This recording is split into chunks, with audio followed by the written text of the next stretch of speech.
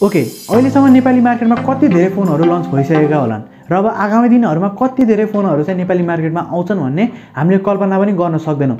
तर पनि हामीहरूले हरेक लन्चिङ इभेन्टमा चाहिँ एउटा मात्रै कामना गरिरहेको हुन्छौँ कि योचोटि चाहिँ फोनको प्राइस अलिकति घट्दै हुन्थ्यो भन्ने टाइपको सबैले सोचिरहेको हुन्छौँ। र अब at the end of the day हामीहरूले जस्ट उल्टो पाउँछौँ यानि कि हरेक फोनको प्राइस चाहिँ हामीहरूले एकदम हाइक भएको देख्छौँ होइन? एकदम एक्सपेन्सिभ भइसकेको चाहिँ हामीले पाउँछौँ होइन? र अब हामीहरू चाहिँ त्यति नै पैसा तिर्न चाहिँ बाध्य हुन्छौँ। फर एन इक्जाम्पल अब रिसेन्टली मात्रै नेपाली मार्केटमा लन्च भएको रियलमी सेभेनको सिरिज हामीले चाहिँ इन्डियन मार्केटमा चौधदेखि पन्ध्र हजार अथवा तेह्रदेखि बाह्र हजारसम्म मजा तरिकाले लन्च भएको थियो भने नेपाली मार्केटमा चाहिँ अहिले पैँतिस हजारको प्राइस ट्यागमा लन्च भएको थियो। जो चाहिँ हामीले एक्सपेक्ट गरिरहेको थियो कि डबलै भए पनि अब तिस हजारसम्म चाहिँ लन्च हुन्छ कि भनेर एक्सपेक्ट गरिरहेको थियो। तर पनि अब पैँतिस हजारमा लन्च भइसकेपछि धेरैजना मान्छेहरू चाहिँ अहिले अफेन्डेड भइसक्नु भएको छ। हो यो सबै चाहिँ के को कारणले हुन्छ भन्ने चाहिँ धेरै मान्छेहरू कन्फ्युज भइराख्नु भएको छ। सो अब आजको भिडियोमा चाहिँ मैले त्यसैको बारेमा कुरा गर्नेवाला छु यानि कि फ्याक्टर जसले गर्दा चाहिँ नेपाली मार्केटमा फोनहरू लन्च हुने बेला जहिले पनि हाइक गरिदिन्छ यानि कि एक्सपेन्सिभ बनाइदिन्छ हरेक फोनलाई। त्यसको बारेमा चाहिँ आज मैले कुरा गर्नेवाला छु। र अब सुरुमै कुरा गर्नुपर्दा चाहिँ डलर फ्लक्चुएसनकै बारेमा कुरा गर्नुपर्ने हुन्छ किनभने नेपाली मार्केटमा सुनदेखि नुनसम्म अनि सुनदेखि फोनसम्मको प्राइस सबै यो डलरले गर्दा चाहिँ निर्धारित गर्ने हो। यानि कि अब डलरको प्राइस धेरै भएको बेला कसैले मोबाइलहरू पर्चेस गर्यो यानि कि कम्पनीले मोबाइलहरू पर्चेस गर्यो भने र अब डिस्ट्रिब्युसन गर्ने बेला चाहिँ एकदम कम भएको बेलामा चाहिँ डिस्ट्रिब्युट गर्नु पऱ्यो भने त्यो त्यति बेला चाहिँ कम्पनीले आफूले लस हुन चाहिँ कतै पनि चाहँदैन त्यही भएर नेपालीमा जनताहरूमा चाहिँ छोडिदिन्छ यानि कि आफ्नो मार्जिन बढाएर चाहिँ पन्ध्र पर्सेन्ट थियो भने पच्चिस पर्सेन्टसम्म लग्छ र त्यो आफ्नो मार्जिन चाहिँ कहिले पनि छुटाउन चाहँदैन कम्पनीले। त्यसले गर्दा चाहिँ नेपालीमा जनताहरू चाहिँ पिर र मर्कामा परिराख्नु भएको हुन्छ।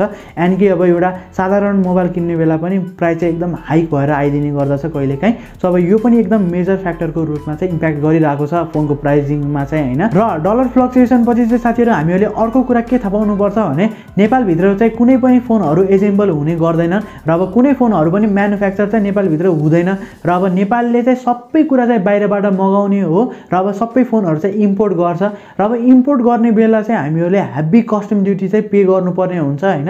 यानि कि हामीहरूले चाहिँ हेभी ट्याक्स ट्याक्स चाहिँ तिर्नुपर्ने हुन्छ। र अब ओभरअल रूपमा भन्नुपर्दा चाहिँ डोमेस्टिक म्यानुफ्याक्चरिङ नहुँदाखेरि चाहिँ नेपाली पिपुलहरूले चाहिँ धेरै पैसा तिर्नुपर्ने हुन्छ। यानि कि ट्याक्समा लगाएको पैसा पनि एउटा पर्सनल मान्छेमा चाहिँ जोड दिन्छन् जसले गर्दा चाहिँ दसदेखि पन्ध्र हजार चाहिँ हामीहरूले धेरै तिर्नुपर्ने चाहिँ हामीहरूले इक्जाम इक्जाम्पल देख्न सक्छौँ होइन? र अब ट्याक्स सिस्टम पनि नेपाली गभर्मेन्टले चाहिँ कस्तो टाइपले दिन्छ मलाई थाहा छैन तर पनि अहिलेको हिसाबले हेर्नुपर्दा चाहिँ अलिकति धेरै नै हो भन्न चाहन्छु होइन मैले चाहिँ। र अब साथीहरू कुरा गरौँ अर्को फ्याक्टरको बारेमा र अर्को फ्याक्टरको कुरा गर्नुपर्दा चाहिँ इ कमर्स साइटहरू चाहिँ नेपाली मार्केटमा त्यति राम्रो तरिकाले चाहिँ डेभलप भइसकेका छैन यानि त्यति धेरै ट्रस्ट चाहिँ गेन गरिसकेका छैनन् होइन? होइन?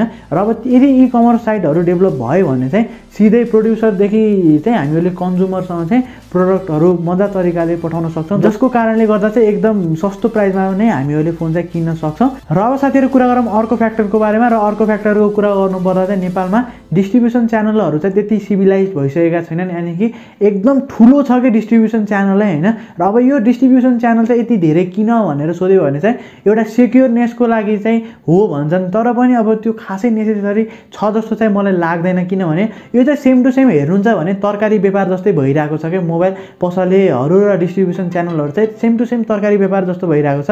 र फर एन इक्जाम्पल हजुरहरूलाई मैले के भन्न चाहन्छु भने यदि हजुरहरू सिधै फार्मरबाट चाहिँ एउटा एक किलो आलु लिनुहुन्छ भने हजुरहरू अभियसली अब बिसदेखि तिस रुपियाँ तिर्नुहुन्छ होइन। र अब त्यही कुरा हजुरहरू यदि कालीमाटीबाट किन्नुहुन्छ भने त्यो चाहिँ एउटा डिस्ट्रिब्युसन च्यानल अथवा होलसेलरको रूपमा काम भइरहेको हुन्छ होइन त्यहाँ चाहिँ। र त्यहाँबाट किन्नुहुन्छ भने अलमोस्ट चालिसदेखि पचास रुपियाँ तिर्नुहुन्छ भने अब हजुरहरू यदि सपबाट आलु किन्नुहुन्छ भने त्यही आलुलाई हजुरले पचासदेखि साठी रुपियाँ दिनुपर्छ। र यही केस चाहिँ स्मार्टफोनमा पनि हामीले देख्न सक्छौँ। यानि कि नेसनल डिस्ट्रिब्युटर आउँछ त्यसपछि रिजनल डिस्ट्रिब्युटर आउँछ त्यसपछि मोबाइल सपहरू त्यसपछि फेरि छरिएको डिफ्रेन्ट एजेन्ट र ब्रोकरहरूमा पुग्ने भएको हुनाले मोबाइलको फोन चाहिँ एकदम म्याक्सिमम् हुन्छ र एउटा क्लियर मार्जिन राख्नुपर्ने भएको हुनाले चाहिँ फोनको प्राइस चाहिँ हामीहरूले म्याक्सिमम् पे गर्नुपर्ने हुन्छ। र अब यो सबैको ग्राफ चाहिँ मैले यतापट्टि देखाइदिएको छु होइन? कन्ज्युमर र प्रड्युसरसम्मको ग्याप चाहिँ हामीहरूले एकदम ठुलो भएको हुनाले हामीहरूले म्याक्सिमम् कस्ट चाहिँ पे गर्नुपर्ने हुन्छ। र अब यसको सोल्युसन चाहिँ एउटा मात्रै छ इ कमर्स साइटको एकदम वेल डेभलप हुनु भनेकै यसको सोल्युसन हो।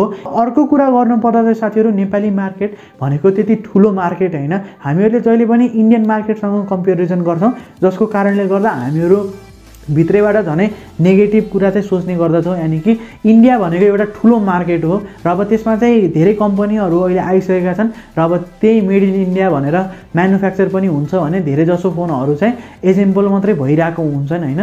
र अब इन्डियामा चाहिँ फोन कम्पनीहरूले के गर्छ भने चाहिँ होइन उनीहरूले एउटा सस्तो दाममा दिइदिन्छ किनभने उनीहरूलाई प्रफिट नभए पनि at the end of the day चाहिँ उनीहरू एउटा ठुलो ब्रान्डको रूपमा इस्टाब्लिस भइसक्छन् किनभने त्यति धेरै पपुलेसनहरूले किनिदियो भने एउटा ब्रान्ड नभएर एउटा सुपर डुपर ब्रान्ड हुन्छ भन्ने लोभ लालचले गर्दा पनि इन्डियामा चाहिँ एउटा सस्तो प्राइसमा लन्च गर्छ भने नेपालमा चाहिँ अब त्यही फोन पनि एकदम महँगो प्राइसमा चाहिँ लन्च गर्ने गरिरहेको चाहिँ मैले देखिरहेको छु होइन।